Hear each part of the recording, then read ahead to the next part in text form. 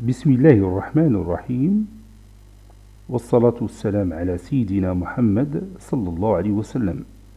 Exercice numéro 18 sur le cours de l'ordre R, niveau tronc commun, l'année scolaire 2020-2021. À quel intervalle appartient le nombre réel A dans chacun des cas suivants Petit a, vous avez ici moins 11 inférieur strictement à A qui est inférieur ou égal à moins 3.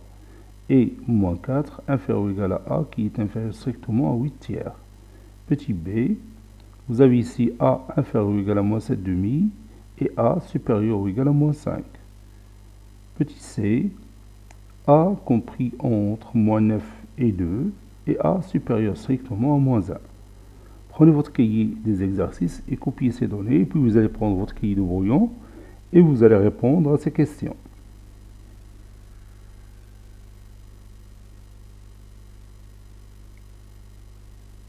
Ça y est, vous avez terminé. Maintenant, on corrige ensemble notre exercice. Réponse.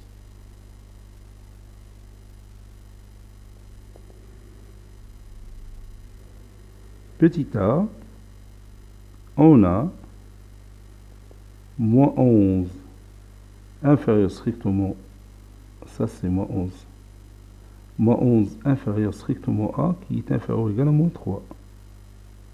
Et a compris entre moins, moins 4 et 8 tiers.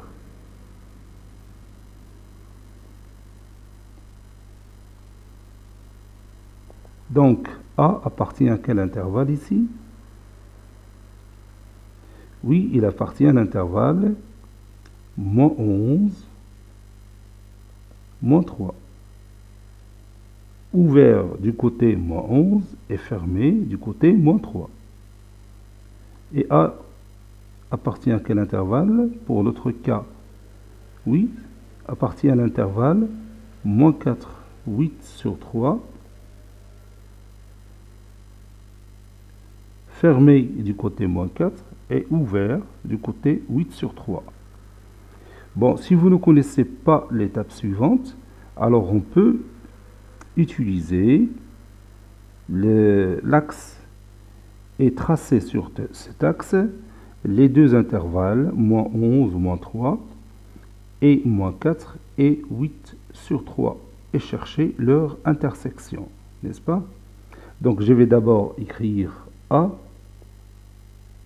puisque A appartient au premier intervalle et appartient au deuxième intervalle, donc A appartient à leur intersection.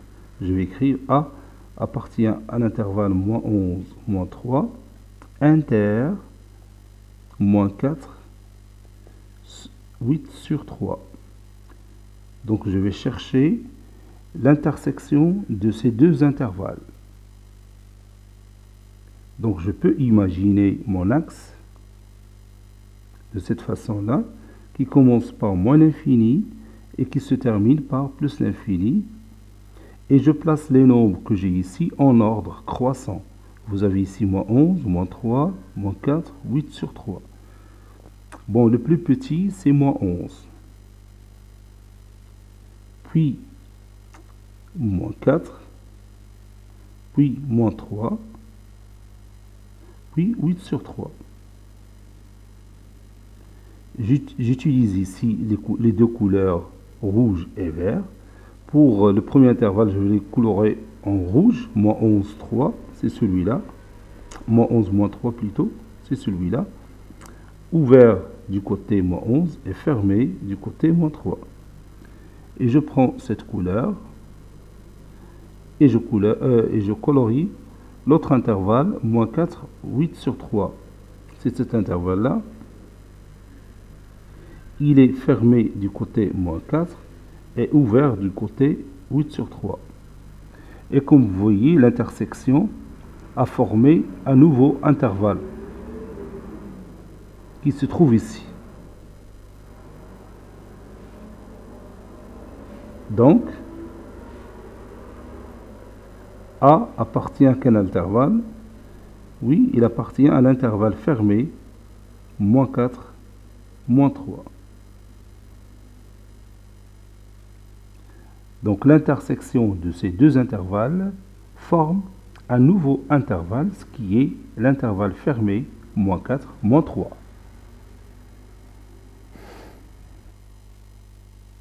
Petit b, on a a inférieur ou égal à moins 7,5 et a supérieur ou égal à moins 5. a inférieur ou égal à moins 7,5, c'est-à-dire que a il appartient à quel, quel intervalle Oui, a appartient à l'intervalle moins l'infini 7,5. Et pour a supérieur ou égal à moins 5, c'est-à-dire a appartient à quel intervalle Oui, il appartient à l'intervalle moins 5 plus l'infini.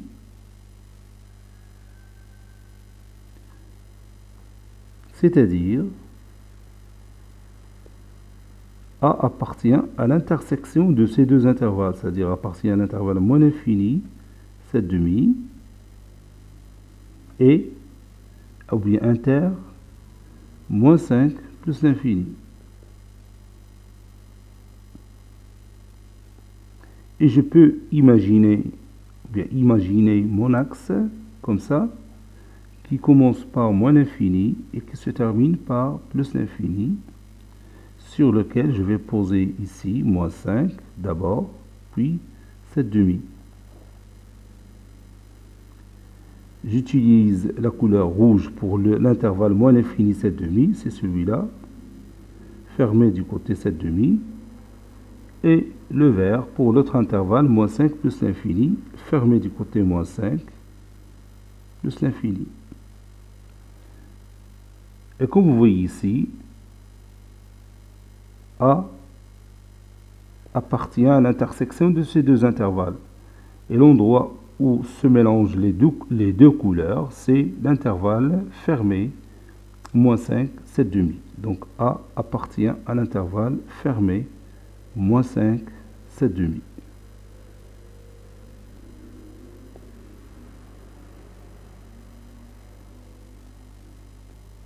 Dernière question, petit c, on a A compris entre moins 9 et 2 et A supérieur strictement à moins 1.